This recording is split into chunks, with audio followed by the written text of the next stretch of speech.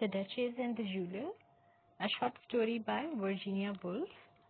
And this is an introduction of Virginia Woolf, born in 1882, died 1941. She actually committed suicide by drowning, and she was, a, mm, you can say, renowned novelist, short story writer, biographer, uh, essayist, a critic, and she did not receive any kind of formal education specifically किसी educational institute में जाके उसने नहीं receive की she was just taught at home and she is known for her stream of consciousness technique stream of consciousness technique ये नीचे uh, third last line uh, fourth last line you should note it down uh, it means that a person's past, present, and future are intermingled, interlinked, just like a flowing stream of water.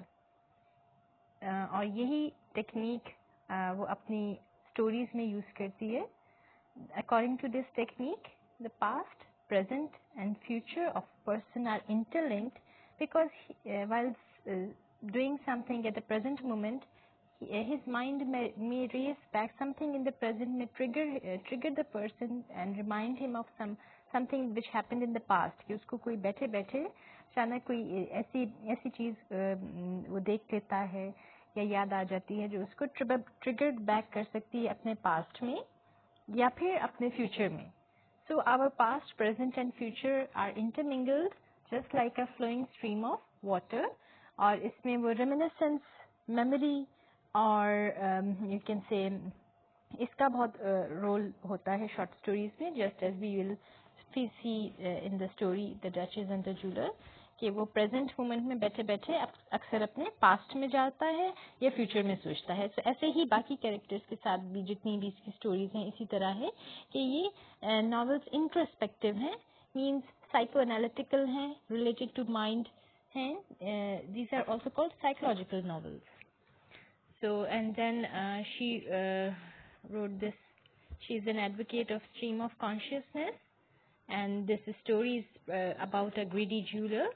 or um, and this was first published in a magazine. This is story, and this story uh, starts from sorry over here and you can see it in your uh, books. You can do the reading from your books. The story is about Oliver Bacon, who lived at the top of a house overlooking uh, the Green Park. He mm, this story is about a um, famous jeweler named Oliver Bacon, uh, who um, lived in a very expensive house in a very expensive uh, area in uh, Piccadilly in uh, you can say um, in uh, in England and um, उसके शुरू का जो paragraph है उसमें सारे उसके घर की ही डिस्क्रिप्शन है कि एक्सपेंसिव सोफाज हैं एक्सपेंसिव डेकोरेशन है he has got fashionable cars and then he has got a man servant जो उसको रोज सर्व करता है ब्रेकफास्ट um, और इतना वो इम्पोर्टेंट हो गया है कि उसको फ़ेमस जो लोग हैं just like the duchess the countesses viscountesses और ऑनरेबल लेडीज़ उनकी तरफ़ से इनविटेशन आती हैं. सो ही इज़ अ ज्वेलर और he has gain so much you can say name fame money has become so rich कि वो एक बहुत इम्पोर्टेंट फिगर हो गया है. एंड देन अक्सर ही वो अपने आप को याद दिलाया करता behold Oliver behold means to be careful to look carefully see you who began life in a filthy little alley तुम जिसने ज़िंदगी स्टार्ट की कहाँ से? गंदी गली से। Filthy little alley a dirty little narrow street alley कहते हैं, छोटी सी गली। So and look down at his legs and now अब अपने आप को देखता है कि वो शुरू से उसके पास ये पैसा नहीं था। He uh, earned this money by his hard work by through fair unfair means शुरू से नहीं था he was a poor boy who lived in a dirty little uh, street and now he often used to remind himself of his past कि अक्सर ही अपने आप को सोचा करता as a little boy in a dark alley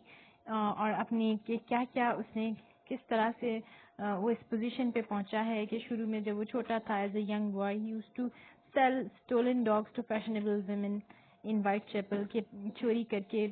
expensive जो dogs की breed थी वो फैशनेबल खातन को बेचता और and then his mother had wailed, Oh, Oliver, when will you have my sense, my son? Because um, immoral उसकी you can say actions जो भी थे कि without any sense he would do anything to gain money as a as a boy and as a young young boy uh, a little boy and a young boy और cheap watches जो था वो counter पे जाके बेचा करता expensive दामों में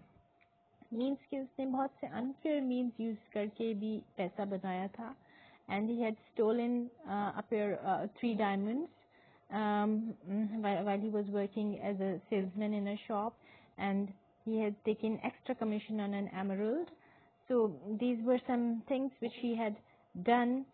some you can say um, unfair uh, things which he had uh, used to gain money and he would chuckle और खुश होता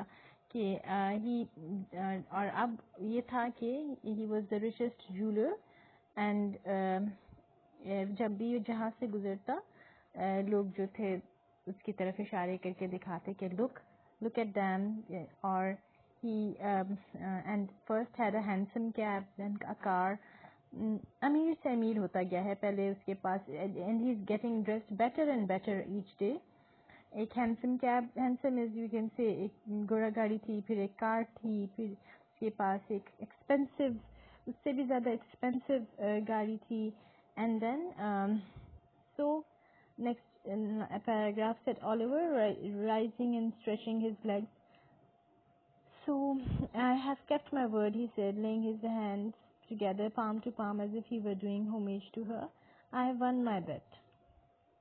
अपनी माँ की तस्वीर के साथ अक्सर वो बातें किया करता और अपनी माँ की तस्वीर के नीचे वो खड़ा होकर कह रहा है क्या है one my bet he was the richest jeweller in England it was true कि उसने जो वो चाहता था वो गेन कर लिया. He had a lot of money he was the richest jeweller in England fair unfair means use करके हर किस्म के क्रिकेट तरीके यूज़ करके he has Gained a lot of money he has made a lot of money but लेकिन still शुरू से वो अमीर नहीं था ही, ही और ये जो तरीके उसने यूज किए हैं आगे बड़ी सिंबॉलिक वे में उसको उसके कंपैरिजन किए हैं वर्जीनिया वुल्फ ने He was the richest jeweler in England, but his nose, which was long and flexible like an elephant's trunk, seemed to say by its curious quiver at the nostrils. So इसको compare किया है शुरू में एक elephant के बहुत अमीर था, लेकिन उसकी नोज़ किस तरह थी? एक एलिफेंट की ट्रंक की तरह लगती थी, लंबी सी। और क्विवर ऐसे जैसे कांपती भी हो, कुछ सूंघ लिया हो जैसे। That he was not satisfied ऐसे लगता था जैसे हाथी भी जैसे कुछ सूंघ लिया है और अभी सेटिस्फाइड नहीं है। And smelt something under the ground little farther off और कुछ अभी भी सूंघ रहा है, जैसे कोई जानवर सूंघ रहा होता है। Maybe some other kind of advantage एक चीज़ मिल गई उसके बाद मजीद भी ढूंढना। So he is a greedy man and imagine a giant hog in a pasture rich with truffles. So इसको अब नेक्स्ट कंपेयर uh, किया है एक जायंट हॉग से हेज हॉग से। और जो, जो हेज हॉग की भी नोज़ काफ़ी बड़ी होती है आगे तक प्रोट्यूडिंग होती है। और वो भी फंजाए और दूसरी जो चीज़ें स्मेल करता जा रहा होता है नीचे नीचे ग्राउंड में और उसी तरह ही स्नफ करता था Oliver the rich earth of Mayfair another truffle, a bigger, a blacker, a bigger farther off. यानी कि he was a greedy man किसी तरह से भी सेटिस्फाइड नहीं था एनिमल से कंपैरिजन का यहाँ पे एक सिंबॉलिक बनता है कि मीनिंग um, बनता है कि just like animals who just know where to get food without any sense of right and wrong same is the case with Oliver कि मॉरली वो इतना डिग्रेडेड है कि उसको बस ये समझ आती है जानवरों की तरह ही कि किस तरह से मैं हुक बाय हुक और by crook by all kind of unfair means किस तरह से मुझे एडवांटेज हो सकता है। Without thinking what is morally right and what is morally wrong ये तमीज़ गलत और सही की इंसानों में ही होती है।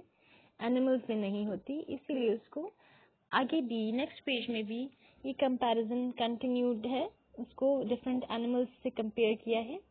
Now then he straighten the pearl in his tie and cased himself in his smart blue overcoat took his yellow gloves and his cane and um, swayed as he descended the stairs. Sway, भी elephant कर रहा होता है झूमना जैसे हाथी झूम रहा होता है। The stairs and half snuffed, half sighed through his long sharp nose as he passed out into Piccadilly. For he was not still a sad man, a dissatisfied man a man who seeks something that is hidden, though he had won his bet. There is a question mark कि although uh, अपनी इसने shirt uh, जीत ली है कि मैं सबसे ज्यादा अमीर jeweller uh, बनना चाहता हूँ वो बन गया है लेकिन still he is a dissatisfied man he is not happy he is still a sad man और he swayed slightly as he walked झूमता है swing swing to side from side to side as a camel at the zoo sways from side to side when it walks जैसे camel भी sway करता है झूमता है sides में और एरिया पे ग्रॉसर को देख रहा होता है uh, उनके वो grocer despises the gross the camel despises the grocer grocer होता है सब्ज़ी फरोश जो है जैसे कैमल उसकी तरफ़ देखता है। वो भी कैमल की तरह कैमल भी डिससेटिस्फाइड होता है क्योंकि उसको सब कुछ नहीं मिल गया होता। है तो same is the case with the jeweller कि वो भी डिससेटिस्फाइड लगता है और उसको कंपेयर किया है यहाँ एक कैमल से। Now all these comparison mean कि एनिमल्स भी जिस तरह बस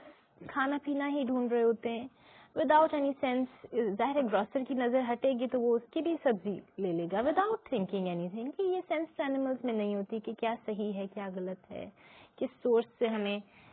खाना है किस सोर्स पे नहीं जाना है। ये चीज़ जब इंसानों में भी आ जाती है तो they become they reduce they get reduce to the level of animals same is the case है कि उसने ये नहीं सोचा क्या सोर्स सही है, क्या गलत है। चाहे वो चोरी, कहीं से डॉग्स जैसे चोरी किए, आगे जाके उनको महँगे में बेच दिए। चीप वॉचेस थी उनको मजीद महँगे में बेच दिया, जो इसके वेज थे पैसे गेन करने के, अगर एज अ सेल्समैन ये काम कर रहा था he just stole the diamond and he ran away and और जिस तरह, और और आगे इसमें है कि किस तरह वो वॉलेट चुरा के कैसे तेज़ी से क्राउड्स में से निकल के क्योंकि खुद एज अ बॉय वो पतला दुबला था, निकल के आगे भाग जाता था। So just like animals you become you become just like animals when you have no sense of right and wrong morally इसमें काफ़ी इसकी यू कैन से लो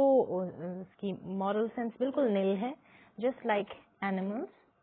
as usual he strode through the shop without speaking through the four man the two old man Marshall and Spencer and the two young man Hammond and Wicks so इसकी shop पे चार लोग काम करते हैं. Two old and two young people उनसे बात किए बगैर ही ये अंदर गया है.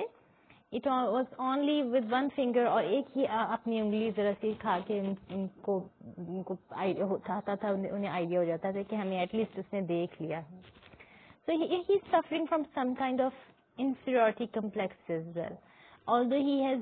gained a lot of money, लेकिन वो एक कमी वो एक हसरत तो जो उसका जैसा चाइल्डहुड था it was a deprived childhood a filthy boy living in a filthy street वो एक चीज़ जो है वो साथ उसके है and he is although he is the richest jeweller in England yet he is suffering from inferiority complex inferiority complex and then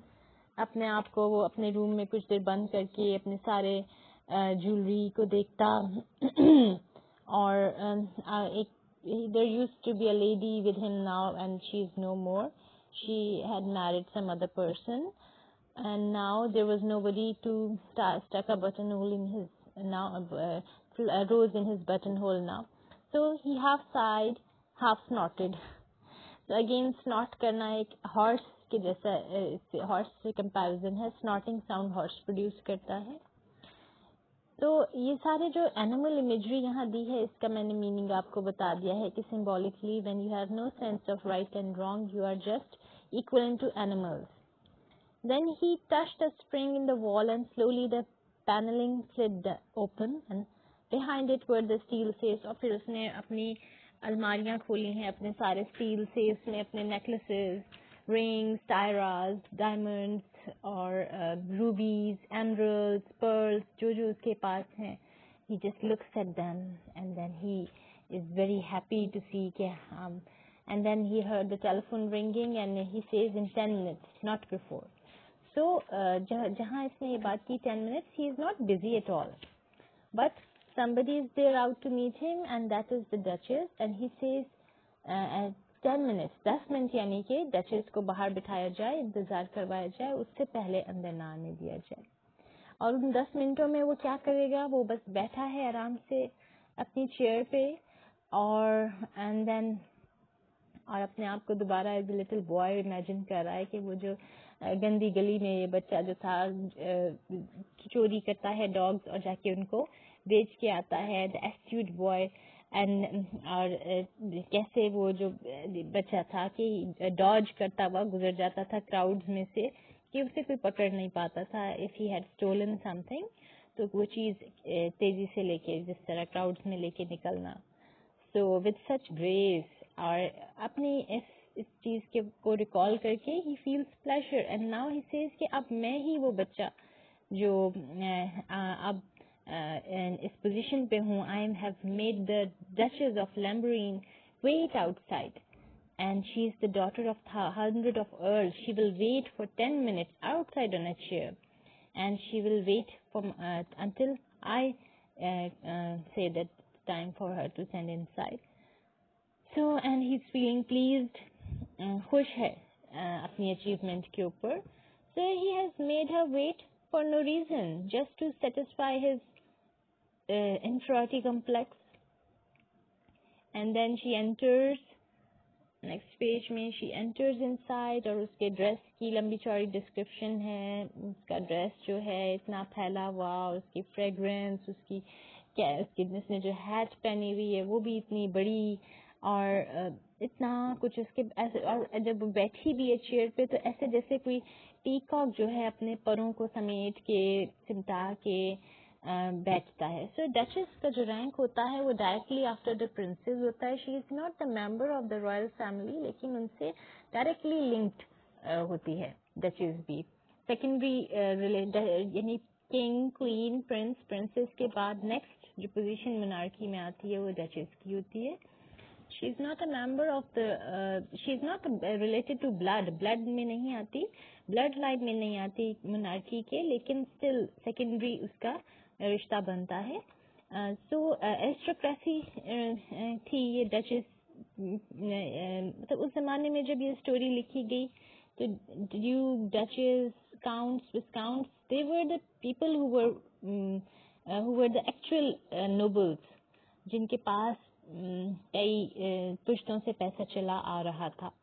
लेकिन इंडस्ट्रियलिज्म आई और जो दूसरी जो कॉमनर्स थे दे टुक द लीड उनके पास पैसा ज़्यादा आ गया। और ये वाली जो क्लास थी, इसको फिर टफ कंपटीशन मिला कॉमनर्स से। और हमें कॉमनर्स की कॉमन कॉमनर्स मीन्स आम जो लोग थे, उनके पास ज़्यादा पैसा आ गया due to industrialism industry flourish की। और एक कॉमन कॉमनर की एग्जांपल तो खुद हमारे सामने से स्टोरी में ही है। The jeweller who was a common boy who gain money through unfair means और इस किस्म की क्लास भी ऊपर आ गई and this class started giving good competition to the one who were the actually rich people due duchess की class हो गई काउंट्स विस्काउंट्स की और दूसरे जो मनार्की में बिलोंग करते हैं, उनको टफ एक कंपटीशन मिला। और वो अपनी पोजीशन को बचाने के लिए और मटेरियल रेस में फर्दर ये स्ट्रांग होने के लिए वो भी अनफेयर मीन्स यूज़ करना शुरू हो गए in order to protect the position और दिस टाइम जहाँ टाइम्स जब ये वर्जीनिया बुल्स ने ये स्टोरी लिखी हुई है were the times of moral decadence यानी किसी भी चीज़ का और ख़राब होना बुरा होना, बुरे से बुरातर होना, वो डेकेडेंस कहलाता है। जैसे imperialism British rule which was suppose to give liberty to others लेकिन वो तो खुद it became the looter of liberty कि वो सारे जो थे, उनसे बल्कि आज़ादी चाह रहे थे। और ये इंडस्ट्रियल एज इसने अगर आज़ादी दिलाई हमें वहाँ पे पुअर क्लास को तो वो साथ साथ इमोरल, इमोरलिटी भी बहुत ज़्यादा हो गई उस एज में। एंड कंपटीशन बहुत हो गया, मटेरियलिज्म बहुत हो गया, रेट रेस आफ्टर मनी हो गई। और ख़ासतौर पे ये जो ड्यूक डचेस जैसी क्लास थी, इसमें गैम्बलिंग ड्रिंकिंग, चीटिंग, इस तरह की एक्टिविटीज़ ज़्यादा होना शुरू हो गई। And cheating in order to, you can say protect the position. ये इसकी सेकंड पैराग्राफ की लाइंस इंपॉर्टेंट है and she held out her hand which came through the slit of her white glove and Oliver bent low as she shook it and as their hands touched the link was forged between them once more. They were friends yet enemies. He was master, she was mistress. Each cheated the other, each needed the other, each feared the other. Each felt this and knew this every time they touched hands.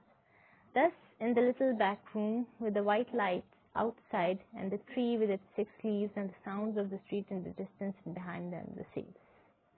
So these lines are important कि जब से ही उनका हाथ मिलता उनको दोबारा से वो अपना पुराना ताल्लुक उनका बन जाता जो पहले से था फ्रेंड्स भी हैं वो एनिमीज भी हैं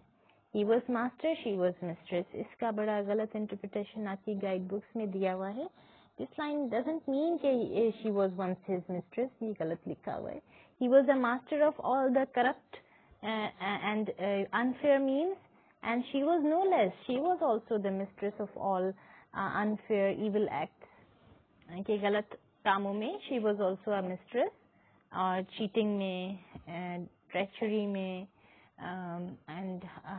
ये सारे जो और भी गलत काम हैं उसमें she was also an expert and he was himself he was also an expert of cheating and theft and uh, such kind of you can say deception such things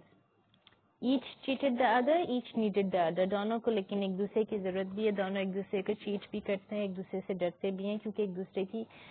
कमजोरियों का पता है इन दोनों को और ये ताल्लुक इनको हर दफा याद आ जाता जब भी when they touched hands. And today, Duchess, what can I do for you today? Oliver said very softly. The Duchess opened her heart, her private heart, gaped wide, and with a sigh but no words, she took from her bag a long mesh leather pouch. It looked like a lean yellow ferret. और उसने उसने निकाली हैं ten pearls and she wants to sell these ten pearls और कह रही कि I have just all these and then uh, she says कि I need to sell them in order to uh, you can say for maintain my reputation she had been gambling and she has again lost and she now needs um, um, and she's calling her husband a villain and a sharper यहाँ बैठ के अपने husband की भी बुराइयां कर रही है इससे jeweler से and calls him a Bedouin um, and then um, and she says she, that she needs money why for Ar Aramita, Daphne, Diana, she moaned, it's for them, I need some money. And जो भी इसको चाहिए and she takes the names of her daughters. The ladies, Araminta, Daphne, Diana, her daughters, he knew them, adored them, but it was Diana he loved. So it was a deliberate act जो उसने किया है duchess ने this is a psychological you can say I story कि इसमें action काफ़ी ज़्यादा mind में भी हो रहा है and she is a trickster कि उसने डेलिबरेटली बेटियों के नाम लिए हैं and she knows that the jeweller is interested in his youngest in her youngest daughter Diana. You have all my secrets, she leered. Tears slid, tears fell, tears like diamonds collecting powder in the ruts of her cherry blossom cheeks. Old friend, she muttered, old friend. And how much she covered? She covered the pearls with her hand. Twenty thousand. अब ये पहले भी ये काम कर चुकी है it is not the first time she has sold the jeweller fake pearls once before and इससे पहले कि ये बेल बजा के कंफर्म करता कि ये फेक भी हैं या रियल हैं वो उसको बातों में लगाती है you will come down tomorrow and the minister his minister his royal highness she stopped and Diana and ये जो नाम लिया है इसने that's deliberate of a daughter She is throwing a bait एक शिकार फेंक रही है उसको कि यानी कि ये पर्ल्स के बदले अगर वो पैसे दे देता है he can come to the party tomorrow and they are going to uh, uh, it, it's going to be a party of the higher के सारे हायप्स उसमें आएँगे मिनिस्टर आएगा प्राइम मिनिस्टर आएगा एंड देन डयाना और डयाना के नाम सुनते ही ही has stream of conscious consciousness technique है एंड ये he look down at the pearl but now how could he taste in the light of the river in the light of the eyes of Diana और duchess की eyes भी उसके ऊपर है twenty thousand she man she moaned my honour the honour of all और वो उसने twenty लिख दिया और उसके बाद इससे पहले वो उसको उसकी माँ की आवाज़ भी सुनाई दे रही है have sense don't be a fool लेकिन इससे पहले वो कुछ और सोचे Oliver the Duchess is entreated it was Oliver now not Mister Bacon You will come for a long weekend के लंबे वीकेंड के लिए आओगे And then he is daydreaming alone in the woods with Hannah, writing alone in the woods with Hannah. Thousand he wrote, signed it. And then अब वो सारे अपने समेट के अपने कपड़ों को she has gone and then after she has gone are they false or real वो अपना दरवाजा बंद करके उनको टेस्ट करता है and they are false rotten then The truffle then was the truffle he had routed out of the earth rotten at the core center rotten at the core I can underline this कि चीज़ें जो हैं वो corrupt हैं centre centre के अंदर से लेके बाहर तक एंड करप्ट है मींस कि करप्शन बहुत डेप्थ है कि ये जिस तरह ये खुद भी करप्ट है जूलर उस उससे ज़्यादा करप्ट बल्कि ये डचेस थी अपनी नोबिलिटी को सारा इसने इग्नोर करते हुए जो भी एक्ट किया है this was worse than all the you can say unfair means which we read which the jeweller had been doing so question इस पे आ जाता है हु इज़ मोर हेटफुल और who is more loathsome the duchess और the jeweller discuss